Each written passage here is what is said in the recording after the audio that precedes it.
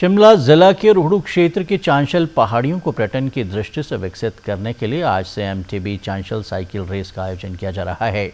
MTB cycle race के समन्वयक साहिल सिंघा ने कहा कि इस रैली के माध्यम से चांशल और आसपास के क्षेत्रों को पर्यटन की दृष्टि से प्रचारित व प्रसारित किया जाएगा।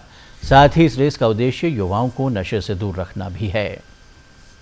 यहाँ से रोडू होते हुए राइड जाएगी चढ़गांव और सब क्रॉस करते हुए चांशल लरोट लरोट में पहला हॉल्ट रहेगा, वहाँ लंच के साथ पहले दिन का स्टॉप रहेगा। फिर next day early morning eight बजे वहाँ से फ्लैग ऑफ़ करके जो साइकिल राइडर्स है, वो चांशल टॉप करेंगे। चांशल टॉप से वो डाउन हिल करके डाउन हिल में हमने ट्रेल भी बनाई है, जो फॉरेस्ट के बीच और गाँव के बीच जाएँगे। और वो जाके खरशाली, आप लोगों को पता है खरशाली माता टेंपल है, वहाँ जाके ये रेस क्लोज होएगी। और जो हमारी बैकबोन है कल्चर वो हमारा बहुत स्ट्रांग है। देखा जाए चौहारा का कल्चर हमारा कल्चर इतना स्ट्रांग है। लोग इसको देखने आते हैं, लोग जानना चाहते हैं कि हम लोग कैसे जीतते हैं। और कैसे हमारी वेशभूषा है। तो उसी के लिए हमने एक छोटा सा प्रयास किया जिस इस साइकिल रेस में हिमाचल के अलावा देश के अन्य हिस्सों के राइडर भी हिस्सा ले रहे हैं। इन्हें स्थानीय संस्कृति से रूबरू कराया जाएगा।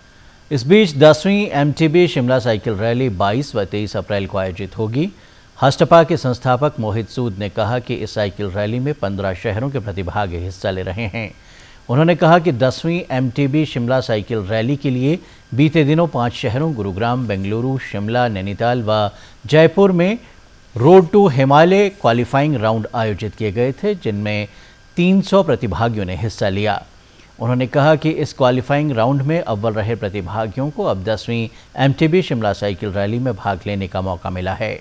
22 अप्रैल को रैली शिमला के फेयरमाउंट से शुरू होकर मशोबरा में समाप्त होगी, जबकि दूसरे दिन 23 अप्रैल को रैली फेयरमाउंट से Potter Hill, Summer Hill, Chaura Maidan, विधानसभा व रिच मैदान से होते हुए फेयरमाउंट में समाप्त होगी। इस दौरान प्रतिभागी 130 किलोमीटर तक का सफ़र तय करेंगे। इससे पहले 21 अप्रैल को हस्तपा द्वारा हेरिटेज राइड आयोजित की जाएगी।